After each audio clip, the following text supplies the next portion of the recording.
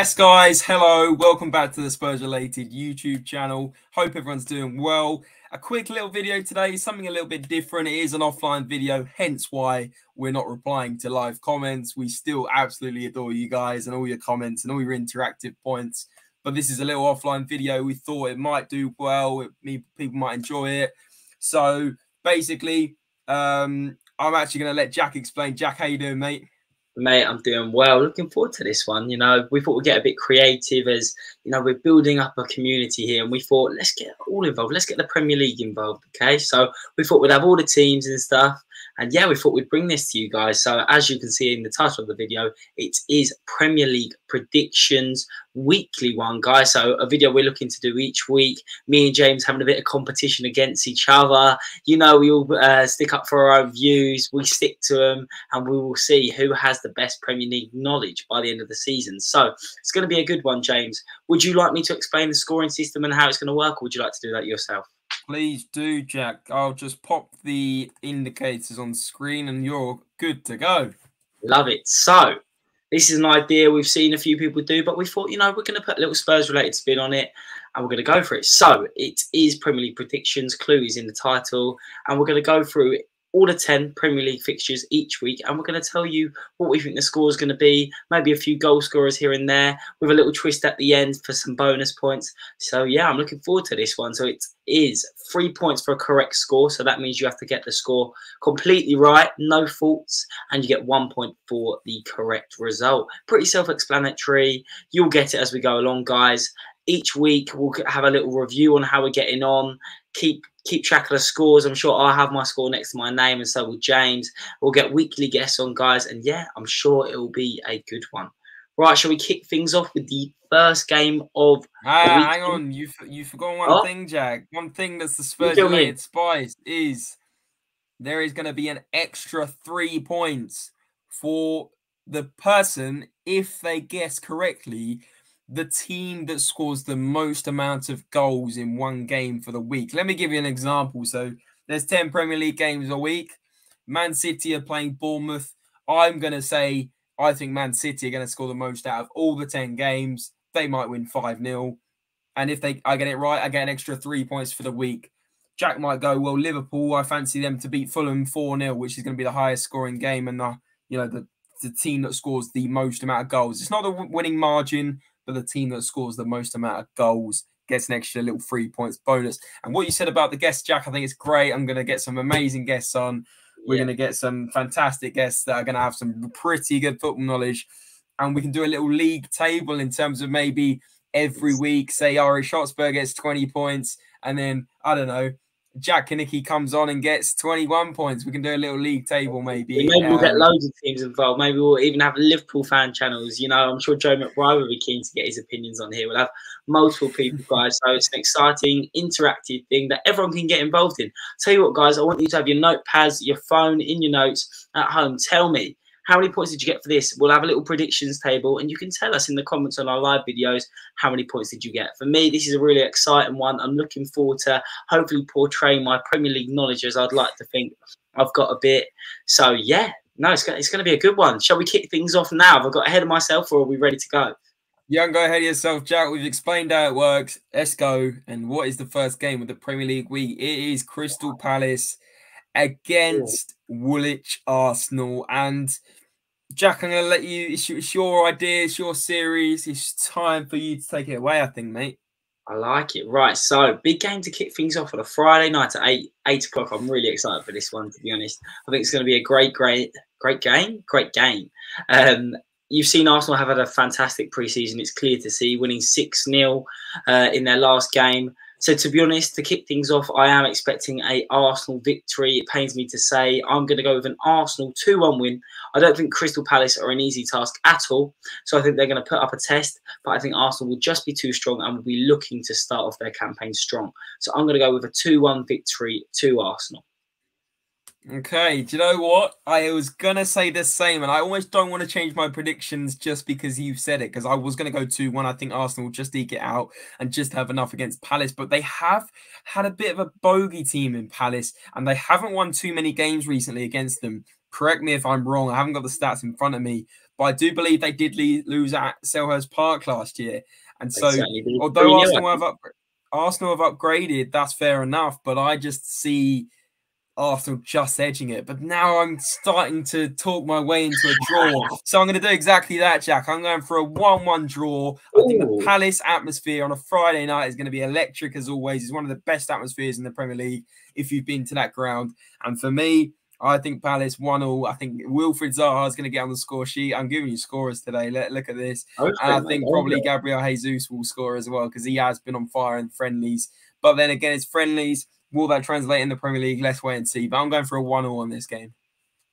I think it, to be honest, James, I think it's a very fair assumption. We all saw helping Spurs out Palace winning 3 0 at Selhurst Park. So for me, I'd love Palace to get another one over Arsenal and kicking their campaign off right uh, with Patrick Vieira obviously playing his former club. So we've got Liverpool v Fulham on the second game. Midday kickoff, 12.30 kickoff um, on the Saturday morning just before Spurs' game. I've gone for a Liverpool 3 0 victory away uh, at Craven Cottage. For me, I just think Liverpool are going to be too strong. Look at their team. Look at how well they played in the Community Shield. Uh, I think they're going to be unstoppable, really. I think they're going to look to start off strong. They've got new signings Darwin Nunez, maybe Fabio Carvalho playing against his old team. Will he get a shout? For me, probably a bit too soon. Um, but for me, there's only one winner. I'm going with Liverpool 3 0. I can see Darwin Nunez getting a debut goal in this match for me. Probably coming off the be bench. Luis Diaz looking to impress for me. A great, fantastic player. Already in my Premier League fantasy team. He was mesmerising last year, especially in the Champions League. Um, and Mohamed Salah keen to probably get another golden boot. For me, there's only one winner. 3 0 Liverpool. Like it. I, and again, you're, you're in the vicinity of what I would say. So if I was to go first, then I would have probably gone 3 0 Liverpool, but I'm going to go. I'm going to go Fulham 1, Liverpool 4. I think it's going to be a goal fest at lunchtime. It's going to be goals galore. People are going to be full on goals by three o'clock. I think Mitrovic is going to get on the score sheet, maybe even a uh, sloppy little penalty. And I think. Uh, I think uh, the four goals at Liverpool, if I had to guess, would probably be Salah, Jota probably he's just signed a new contract, want to celebrate uh, signing that deal. And um, yeah, I could see Nunez come off the bench as well. So I'm going 4 1 Liverpool.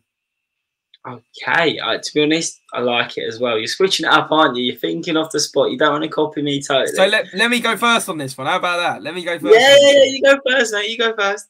Okay, so Bournemouth, Aston Villa, Bournemouth. Welcome back to the Premier League. I know we do have one watch that is a Bournemouth fan, so good luck to you if you are watching. But Bournemouth, I think are going to struggle this year. I've said it already. I think they're going back down.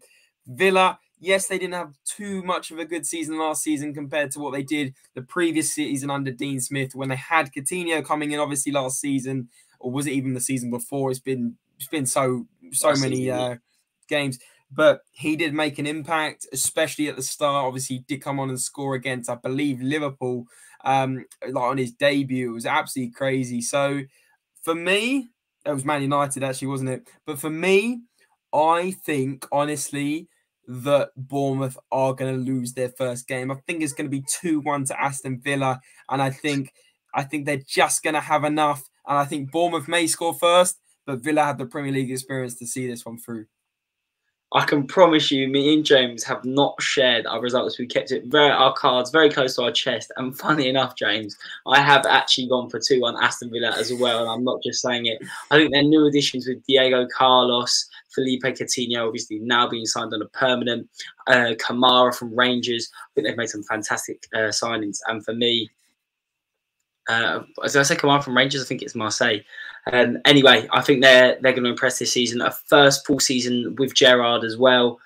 I can just see them being a real force to be reckoned with this season. For me, I predicted them to finish around eight in the Premier League, a lot stronger than last season. Um, I think a 2 1 victory is going to kick things off. Even with Scotty Parker being at Bournemouth, I don't think he's going to be able to do enough to get them through this game and maybe not even stay up in the Prem. But only time will tell, James. There you go. Um, I guess I'll take this one and then we'll do two each uh, in terms of who starts. Leeds, Wolves. So Leeds just survived last season. It did come down to the last game. Wolves, very mediocre season. I believe they did finish around 13th, 14th place. So again, they've struggled. They did much better in the seasons under Nuno.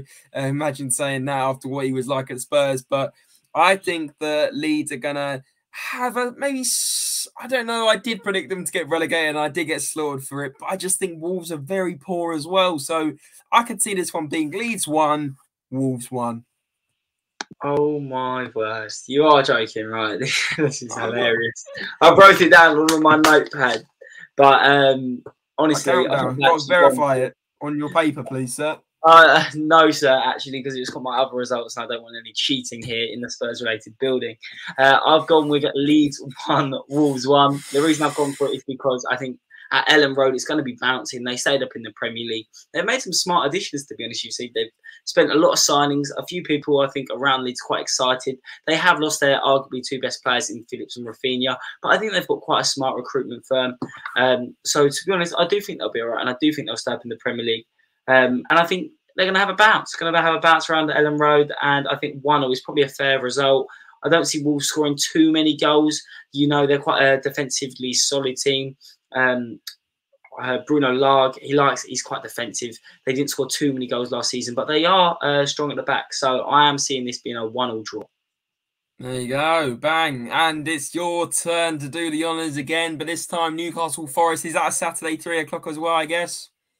Newcastle Forest is the one, James, and I'm looking forward to this one actually, especially on match of the day. I think it's going to be a very good game, and I'm going with a 2-1 win to Newcastle. I think the Newcastle fans at St St James's Park are going to be absolutely buzzing. We all saw the atmosphere against Arsenal on the last day of the season. Honestly, I can see this being a fantastic game. Newcastle beating Arsenal, and now their first full season with their new owners. Massive investment. We've all seen they've, they've spent maybe looking to buy James Maddison for around 50 to 60 million pounds. They've brought in, obviously, Bruno Guimaraes, uh, Sven Botman, so many players who are high caliber, and they've got the finances to do that. Uh, Eddie Howe, I think he's a great manager as well. I think he's really going to help push on this squad.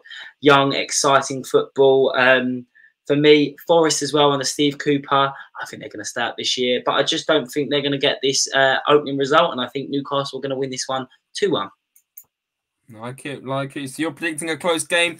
I actually think that, on top of what you said, I think Newcastle, I, I, I think they're going to get Europa League, uh, Conference League this year.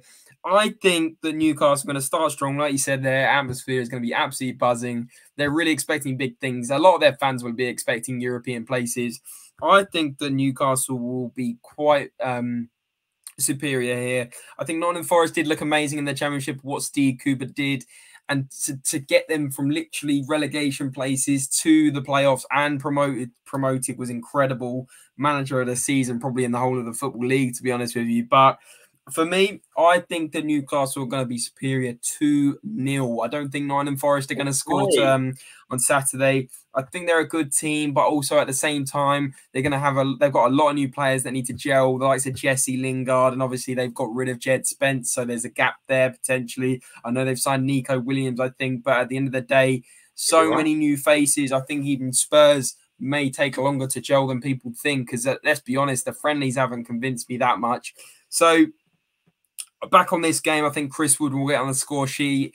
Um, is my little score really? prediction predictor there. Yeah, I think Chris Wood will have a season where if he can avoid injury, he'll get 10, 15 goals for Newcastle, which could be huge in pushing wow, them for a Europa League place. I mean, not Callum Wilson. You see Chris Wood, Chris Wood getting the nod, do you? Yeah, Chris Wood, he's scored quite a few in the friendlies as well. I've been keeping an eye on that. I think he's a very underrated player and he did so well. You know, you saw the gap when he left Burnley Burnley really struggled without his goals. Ashley Barnes isn't quite a knife up front for them, and obviously they've got Jay Rodriguez as well. But Max Cornet obviously helped Burnley, but let's not talk about Burnley. I just think that Chris Wood is a very underrated yeah. player. Um, so yeah, I'm going for a 2 0 Newcastle win here. I can definitely see that. And I just feel like the Forest will get that goal just because sometimes when you have those new players around the squad, you get a buzz and everyone wants to impress. I think you've got Omar Richards joining from Bayern Munich, used to be at Reading. You've obviously got Neco Williams and Jesse Lingard. So there's a few exciting players there, and I think they'll be keen to one of them to get on the score sheet potentially. Anyway, now moving on, James. Am I right to take this one? A little excited. Here we hang go. On, no, hang on a minute. Hang on a minute. Is this your is this your one? Hang on, let me Yeah, it is your one. It's your honours. So, right, my honours. Let's go for it. Spurs related. It is the first game of Tottenham's campaign, and we kick it off at the Tottenham Hotspur Stadium, the inaugural 60,000 seat stadium. I will be there doing a vlog, and I'm so excited. And we, we will we will be playing the Saints, um, and I am thinking Tottenham are going to win this game 2 0. I haven't gone too bold. I haven't gone too crazy. I'm just expecting it. It might take a while for our team to gel. I think Conte is going to want to make sure we're defensively solid nothing too crazy. I think we need the link up play. I think Kulusevski, Son, and Kane will be our starting front three. And I just think we need to get those goals, maybe a goal in the first half, settle down, play nice football, press from the front. I'd love to see more goals, but I can just see Spurs easing their way into the Premier League season and winning it 2 0, hopefully. And that is my prediction. I see Kulusevski and Harry Kane grabbing a goal. There you go. Well, Oh, I haven't gone the same for this one. And I actually was oh. thinking about this on the way home. I changed my mind twice, and this score I've got, I can explain with, you know, full confidence. But Spurs Southampton, I was so eager to put it on screen. I put it on screen while you were still talking about Newcastle, Jack. But listen, I'm absolutely buzzing. Just to say to the watchers, if you are still watching, we're going to do a preview on Thursday night for that game. All the team news, all the predictions, all press the likely lineups, everything else, all the t- um, all the press conference quotes.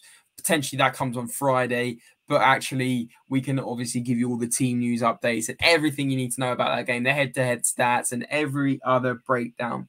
So, and obviously Andre always does his player picks as who he thinks is going to be a threat. But back to the score prediction, I think the Spurs are going to win three goals to one, and I'll tell you why. I nearly went three 0 but I think 3 1, just because if we remember only what, seven months ago, it was January, and we lost 3 2 to Southampton. They're a team that can't be underestimated. A lot of people have them to go down. I think Joe has them to go down, but I just don't think they're going to go down. I just think they've got too much Premier League experience, and I do like their uh, I do like their manager um, as well. I think he's a, a, solid manager and has done decent work with what he has. He hasn't got an amazing team. You know, if you go yeah. back four, five, six years, they had Graziano Pelle, um, they had Adam Lallana, they had Sadio Mane, they had all these yeah, players that were upper level and now they don't really have too too many players and that's not me being harsh to Southampton I just think they're doing very well for what they have they have got some tricky players. They have got some good defensive players as well. And I just think people think that this could be a 4 5 nil. There will be people predicting that. Of course, there will. But it's the first game. There will be a bit of time to gel for these players needed.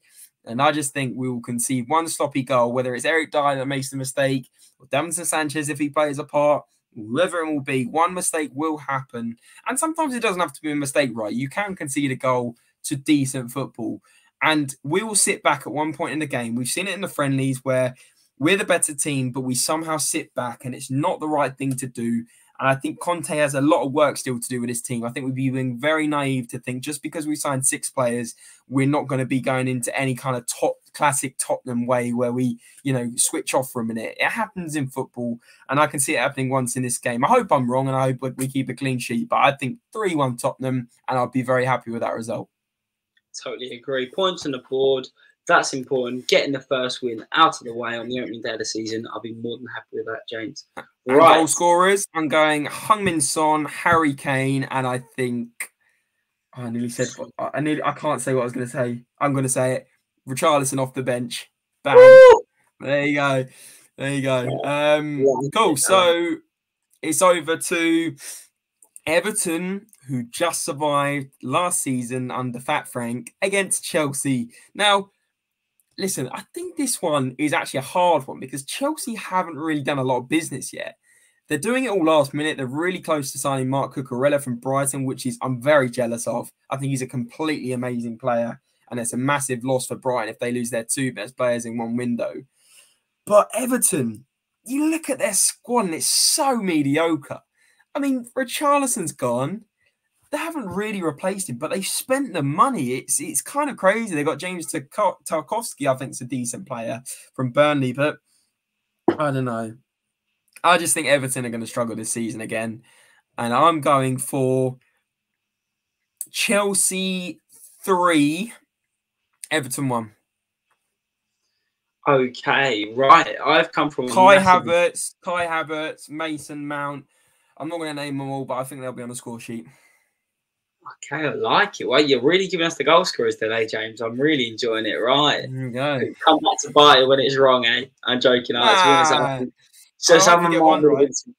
I'm sure you will. I'm sure you will. Well, I've actually come from a completely different angle, and I am actually predicting a surprise opening day weekend result. I've gone for an Everton 2 1 victory. Right. There is a method to my madness.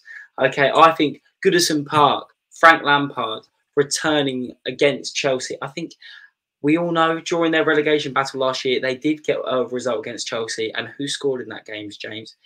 It was Tottenham's new man, Richarlison. Yes, they don't have him anymore because he has joined us. But I just see Everton getting a result. There's always a freak result on the opening day, and I think this is going to be the one.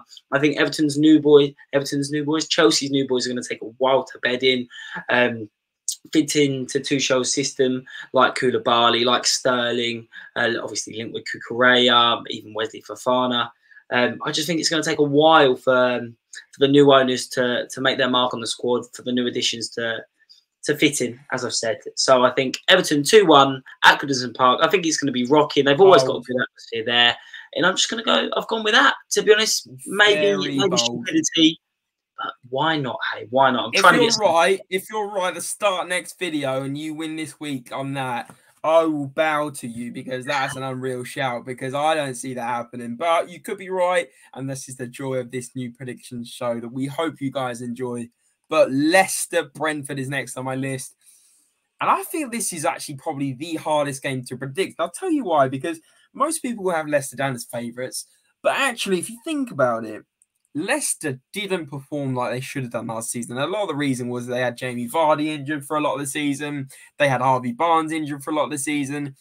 And I think these players are back. So I just think I think I, am still undecided on this. Do you know what? I'm going to go for a Leicester 2 1 win, but I think it'll be a tight game. I don't think anyone's running away with this one, but I could be completely wrong. But obviously, Brentford missing without Christian Eriksen, who's gone to Manchester United as well.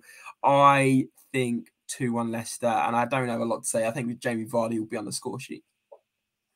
Okay, I like I like that point of view, but I actually think Leicester are going to be keen to make a mark. I think they had a poor season by their standards last year, a lot of injury problems, and now with a full free preseason under their belt, the likes of James uh, Justin, Ricardo Pereira uh, will be returning to action. I think their defense will be a lot more stronger, a lot more stronger, a lot stronger. Um, and I think it's going to be a 2 0 Leicester win. I can see Patson Daka getting the, on the score sheet. And maybe what? A surprise package just because he's in my fantasy Premier League. James Justin also getting on the score sheet. And I'm going to go with a 2 0. Brentford assigned Mikkel Damsgaard. I can see them having a 2 0 Leicester. 2 0 Leicester. 2 0. Um, and they've signed another Denmark international replacing Eriksen with Damsgaard. And for me, that could be a very smart signing. We all remember the goal he scored uh, at the Euros against England, nearly crushing our hearts. But as we know, Harry Kane come back and scored that penalty rebound. Um, so, yeah, 2 0 Leicester. I can see them wanting a strong start to the season, and I think they will get it. There you go. Now, the last two. So it's your turn to predict first. Oh and I think I guess we're on the Sunday realms now. Was Leicester Brentford? Think I think that's a Sunday, Sunday game. Well. I think that's a Sunday. I think it's a 12 to unless it's a 2 to 4:30. I think that might be it. So Leicester Brentford is a Sunday. So the Everton Chelsea's the 5:30 yeah. on the Saturday. The Leicester Brentford game is the two o'clock on the Sunday, and then the two o'clock also on the Sunday. I'm not sure there which one on TV. I'm guessing it's this one because it looks like a better game. Yeah, the Man United, Man United versus Brighton Old Trafford. And Jack, it's your turn. Well, Erik Ten Hag. I think it's going to be a very interesting team selection for this one. Will Cristiano Ronaldo start? We've all seen the the antics with Ronaldo this summer. I think he did play the latest preseason game. I think he had mm-hmm. quite a strong game according to some Man United fans. But for me, I think Graham Potter has got Brighton played some fantastic football. Another year with his methods. I don't think they've signed a striker yet. And for me, they are crying out for a goal scoring striker. They really need it. And if they could get someone who could score 10 to 15 goals a season, honestly, I think they'd be in a slight chance of competing for Europa Conference space. So for me, maybe that's an outsider's opinion, but I think they play fantastic football and they're always a joy to watch. They're missing Bissouma, who has signed for Spurs, I can proudly say. Um, but for me, I think Erik Ten Hag is one going to make his mark at Old Trafford, and I think they're going to win this game 3 1. I can, and I can see Eriksen getting on the score sheet. I think he won't start, but I think he'll come on. And I'm also going to predict Jadon Sancho to bag a brace. So there you are, mm. 3 1 uh, to Man United. They're going to make the mark. Ten Hag's going to be happy with this result, but will it happen throughout the season? Time will tell. Brighton scorer as well. Brighton scorer. I'm going to go with. I'm going to go with Tariq Lamptey. I don't think he's available. Could be wrong, but there you go. That is. No, uh, I thought he's still injured. Maybe you're right, but anyway, my prediction for this isn't a 3 1, but I do think Man United are going to actually comfortably win this game. I do understand what you mean about Graham Potter, but if you think about it, probably Cucurella isn't going to play because he's going to be going elsewhere. Bissouma's obviously at Tottenham, and they've even got to the point where they haven't got a left wing back properly. So they're playing Leonardo Dro Trossard at left wing back, who scored a hat trick from left wing back in a friendly the other day against Espanyol. But I think that Brighton are going to struggle in the Premier League this season. I think I put them as 13th or 14th in my prediction. But now they're losing Cucurella, I would be inclined to change that to maybe a couple of places lower. I think that's a big, big, big blow unless they replace but him. Do you think they will invest that money? I just said million pounds for a left back. That is a lot of money. Talk but, about but they haven't got long. They haven't got long to buy players, and they might panic buy. So I mm, don't know. It takes time to get you know replace a player of that caliber. I think this is going to be Manchester United two, Brighton zero nil, and I think that Cristiano Ronaldo will silence all the talk about him going and everything else, and I think he's going to get a brace. And the okay. sea will be bringing round Old Trafford. Um, right. There you go. Last but not least, actually, it is least because it's the spammers. It is West Ham versus Man City. And I can I go? Is it my turn? Because technically you've got five now. This off. Hmm? Tell us, tell us. You, you okay. start. I think that this is going to be my biggest goals. Actually, no, no, it's not. Wait, what did I say for Liverpool? I said four one. So that's my that's my highest goals um, tally. So that's who I think is going to score the most goals this week. Liverpool. I think this is going to be West Ham one, Manchester City three, and I think that Erling Haaland will get on the score sheet and break.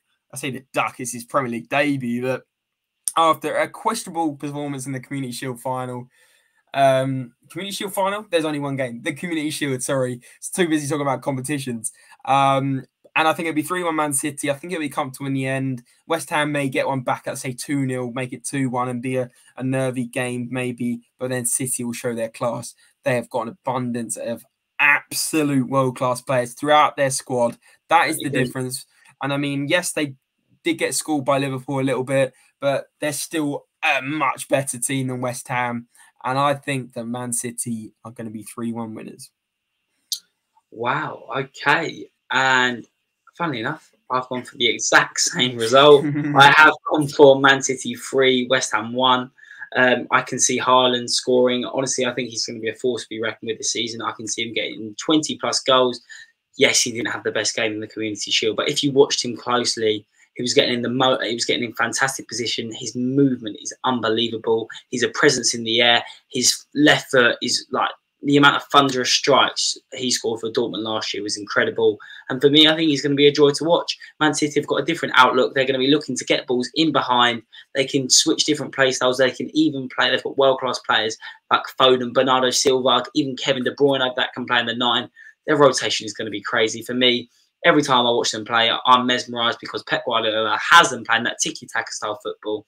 And yeah, once again, they are probably the favourites to win the Premier League, and they're going to kick it off with a 3 1 win against West Ham. And I think Bowen will be the scorer for them. So, yes, guys, this has been our little introduction, week one of our Jack and James's Premier League predictions. Plenty of guests will get on the show. I'm looking forward to this one. We'll have a nice weekly catch up of all Premier League football, as obviously normally it's all Spurs related. But why not? Let's bring let's bring all the clubs in, um, and I think it's going to be an exciting series, James. Absolutely, cannot wait to see who gets the most points this week. We'll do a little tally before predicting the next week.